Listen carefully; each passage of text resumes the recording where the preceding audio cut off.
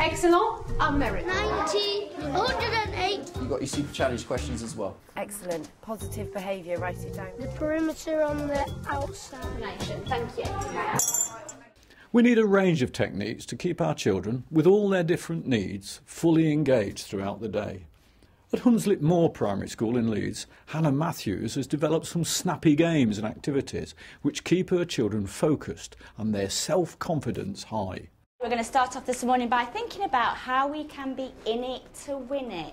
But if your name's not in the box and you can't win a prize, you've got to be in it to win it. Brilliant. My In It to Win It box came to me to try and get children engaged and to try and get them on task and wanting, you know, giving them a prize at the end of it, giving them something to work towards. Give me 10 different ways that you could impress myself or Mrs. Priest this morning to be in it to win it. Don't shout out. Brilliant, not shouting out. Be responsible for your own learning. Being responsible for your own learning. Try your best and never give up. Trying your best and never giving up. Put your hands up if you're going to be in it to win it today.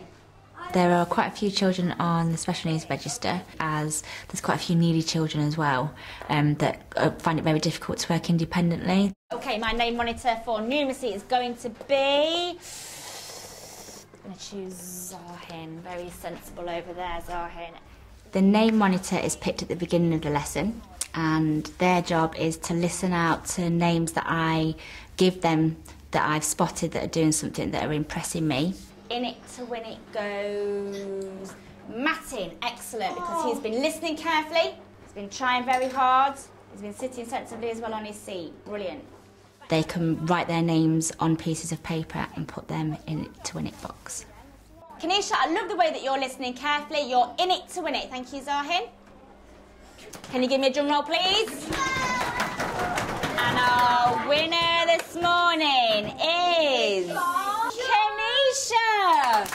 Come and get your prize. The games enable my teaching to be fast and pacey, which also encourage them to stay on task. You have got two minutes to play ping pong quietly with each other. Off you go. 2 times 6, 12. 3, 3 times 6, 18. Ping pong I use um, not just in numeracy, but you can also use it in literacy as well. It's a very quick game, so they play it in pairs, and each person takes it in turn. Like today, we were doing it on times tables. 3 times 2. 6. 7 times 5. 5 times 15, 20, 25, 35. They can do it so that they're counting in the number, so they have to ping pong from each other. 42. Um, 46. 48. 56. Um, 62. It's good for bringing children back round and getting them focused again. Okay, so I've written the very beginning of this non-fiction text. Talking partner challenges. Think about what the next sentence could be. Go. Or maybe she might write some. Talking partners is something that I use a lot in all my lessons, really, across the board. It's a great way for children to talk to each other and get their answers out. What I usually do is use talking partners first, and then we share with the class other, because then that way children can also magpie ideas from other people. Anderson, what do you think then our next sentence should be? It might be um, 8% are they just we recycle. So we, are we going to hit them with a fact? Yeah. If they don't have any ideas themselves, if they've heard their partner talking about ideas, and they can use those as well. So it gives those children that aren't as confident to talk a little bit more confidence. Who would you like to challenge, Megan, to doubles? Hmm. Doubles duel. I'm gonna pick Hamza. Hamza.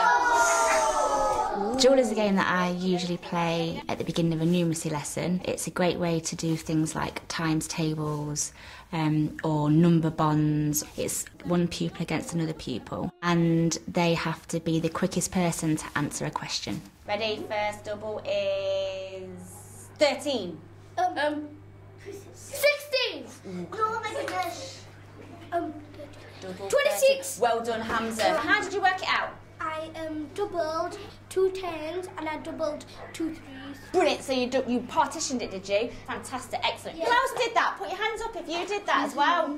Fantastic. Okay. The winner from that duel stays on, and then they can then challenge the next duel person to come up. Nine. Um, eight, 18. Ooh, Oh, brilliant. Well All pupils really enjoy this game. It's a great way to challenge them, and not only for those two children that are standing up, but also other children can join in as well. And then the pupil who was standing up for the most time is the winner. Brilliant. All pupils, I think, from different abilities respond well to those sorts of games because they're quick, they're fast, they're competitive. You have to be thinking all the time. So it's a good way to get children on task and thinking quickly.